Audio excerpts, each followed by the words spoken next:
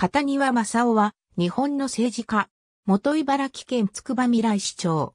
八原村立八原小学校、八原村立八原中学校、茨城県立三街道第一高等学校、千葉工業大学卒業。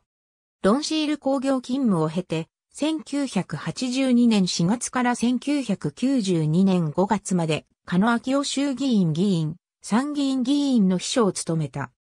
1998年7月12日に行われた第18回参議院議員通常選挙に茨城県選挙区から青年自由党公認で出馬するも落選。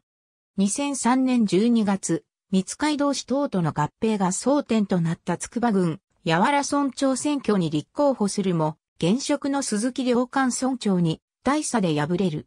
2006年3月27日、筑波郡稲町と八原村が合併、市政施行し、筑波未来市が発足。それに伴って、同年5月14日に行われた同市の市長選挙に無所属で出馬するも落選。2010年4月25日に行われた同市長選挙に再度挑戦し、初当選。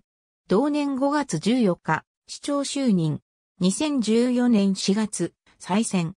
2018年4月、参戦を目指して立候補するも、鈴木良官県議らの支援を受けた前、筑波未来市議会議員の小高公に敗れ落選した。ありがとうございます。